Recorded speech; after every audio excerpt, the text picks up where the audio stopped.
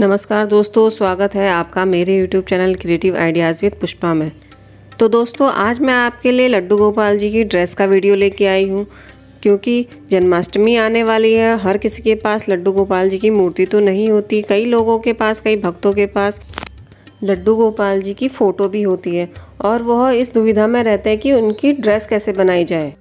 तो उन्हीं लोगों के लिए मेरा यह आज का खास वीडियो है तो आशा है आपको यह पसंद आएगा।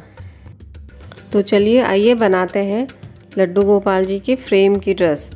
तो उसके लिए सबसे पहले हमें लड्डू गोपाल जी की फ़ोटो का नाप लेना पड़ेगा। तो मैंने इसका नाप ले लिया है। देखिए इसका लंबाई और चौड़ाई दोनों तरफ़ से हमें नाप लेना है।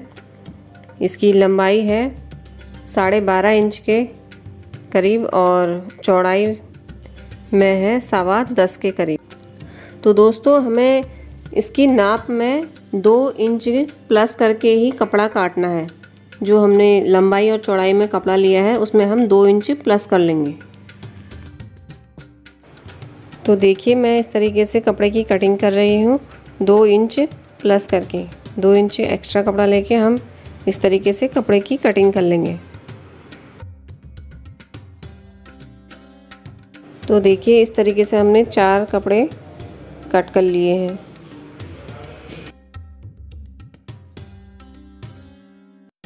तो दोस्तों, अब हमें कपड़े की चौड़ाई भी पता करनी है। देखिए, चौड़ाई के लिए आप अपने हिसाब से, फ़ोटो के हिसाब से आप नाप ले सकते हैं। जैसे मैंने यहाँ पे सवा दो के करीब चौड़ाई में लूँगी। आगे से मेरा सवा दो के करीब आएगा तो फोल्ड करके ये साढ़े चार के करीब आ जाएगा। साढ़े चार इसकी चौड़ाई हो गई। तो मैं कपड़े में साढ़े चार के हिसाब से इसकी चौड़ाई लूँगी और उसमें मैं आधा आधा इंच एक्स्ट्रा और यानी कि एक इंच एक इंच और एक्स्ट्रा लूँगी, क्योंकि ये सिलाई में भी जाएगा दोनों तरफ़ से। सिलाई करने के बाद आधा आधा इंच उधर से कम होगा तो साढ़े चार का मेरा मेज़रमेंट आ जाएगा।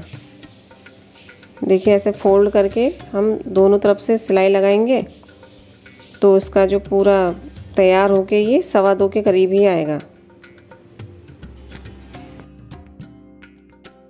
तो दोस्तों, अब हमें इसके दोनों तरफ़ से सिलाई लगानी है और उसके किनारों को लॉक करना है। तो अब हम इसमें लेस का प्रयोग करेंगे। आप अपने कपड़े के अकॉर्डिंग लेस लगा भी सकती है और नहीं भी।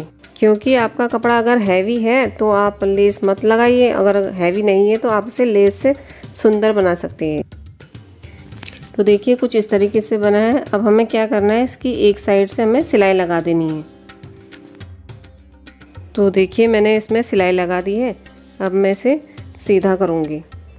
और इसे सीधा करने के बाद दोस्तों, हमें क्या करना है कि हमें फ़ोटो लेकर के उसमें इसको पहना के फ़ोटो में, फ़ोटो फ्रेम में डाल के हमें इसकी नाप लेनी है कि हमें दूसरी सिलाई कहाँ तक लगानी है।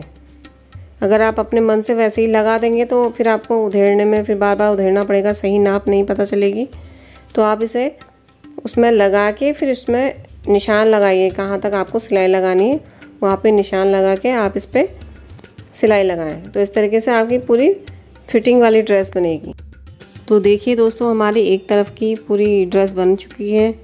अब हम इसी तरीके से दूसरी तरफ़ की ड्रेस बनाएँगे। देखिए, वो भी बन चुकी है बिल्कुल बराबर की फिटिंग की।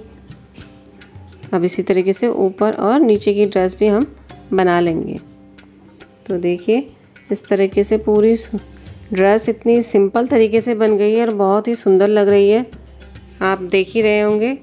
तो दोस्तों, कैसी लगी आपको आज की वीडियो? हमें कमेंट करके ज़रूर बताएँ और चैनल को लाइक कीजिए, शेयर कीजिए और सब्सक्राइब कीजिए।